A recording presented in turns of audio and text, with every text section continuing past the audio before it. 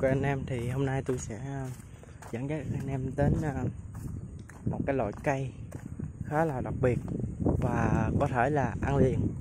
Đó đó là cây gì? Thì anh em cứ theo chân tôi. Và trước tiên à, tham quan cái cây này thì tôi sẽ ngồi đây và tôi sẽ nói đến cái chủ đề hôm nay tôi làm. Đó chính là cây cây gì? Lại đây.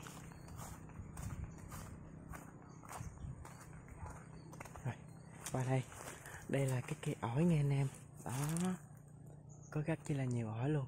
Mà ô lộn, không phải là rất chi nhiều ổi, mà là rất chi là nhiều lá ổi luôn. Trời trời. Quá trời lá ổi luôn anh em. Đó, tôi sẽ đi sâu vào bên trong. Đây. Đó, có rất chi là nhiều cây ổi luôn nè. Thấy không? Ô lộn, lá ổi chứ. Chứ không phải là cây ổi. Thì người ta là rất chi là ít trồng ổi luôn nên. Đây đây chỉ là cây ổi thôi và đây đây là mấy cái lá ổi nè. Ê, đây có trái nè anh em. Đây có trái nè thấy không? Đó nhưng nó chưa có lớn anh em nên chúng ta bẻ ăn không được nha. Và cái ổi này kết cấu hình thành nó như thế nào? Thì à, trồng thôi đơn giản là vậy.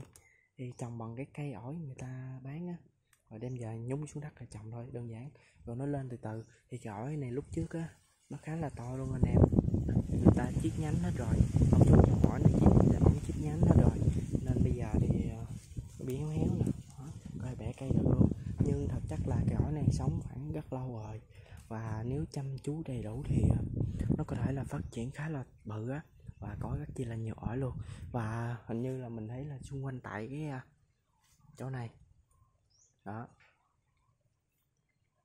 Mình cảm nhận là có được một cái ổi à duy dứt một cây luôn. Tại sao là có một cái ổi tại vì người ta thu hoạch á ổi không bấy được nhiêu, nên người ta chủ yếu là trồng chơi thôi anh em. Nên lấy xung quanh này, chỉ chỉ có một cái ổi là duy nhất thôi. Đấy, đơn giản. Và cái ổi này nó có hình thành là như thế nào? Đó, anh em thấy cái cây không? Cái ổi này khá chắc chắn luôn anh em. Nếu nó sau này nó to lên á, thì anh em có thể leo lên, nó không có gãy đâu.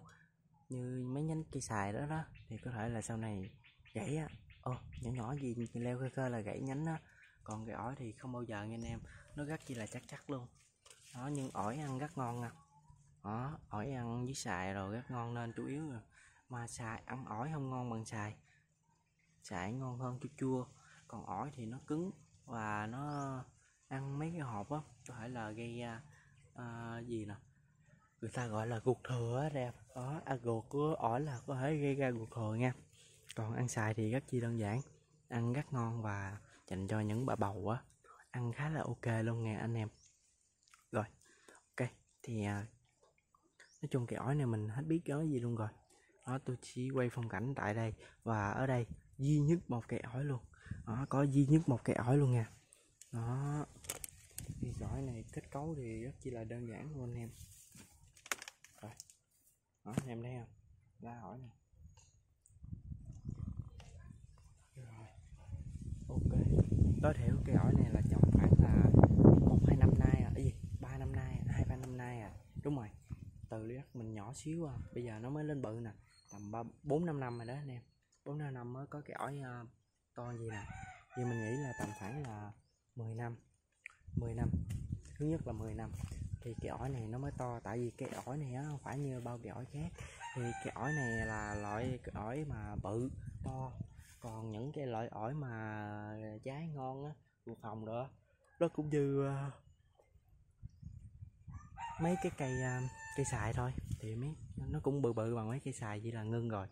Thì mấy ổi đó là dành để thu hoạch. Còn mấy ổi này chỉ là trồng uh, sau hè nhà để có trái rồi ăn chơi thôi chứ không có thu hoạch gì cả anh em ạ. Đó đơn giản vậy thôi. Và tôi sẽ đi cho anh em xem ờ, sơ qua. Ui da phong cảnh tại đây. Tôi sẽ đi xa nha đó, đây là toàn cảnh của kèo ổi nha anh em. Rồi, ok. Và tôi sẽ cho anh em xem qua những gì ở đây đang có. Đó, thì đằng đó là cây ổi khá là to luôn nha anh em. Đó, thì cây ổi đó, nó cũng còn bé. Nó bị chặt nhánh à, phía bên trái rồi anh em. Nên à, nó còn nhánh sụ bên phải đó. Anh em cũng đã thấy rồi. Ok, và clip này à, xin được kết thúc tại đây nha. Và nếu anh em nào thấy clip của mình hay và thú vị nhớ để lại cho mình một like một đăng ký kênh mình nhé. Ok hẹn anh em vào clip sau.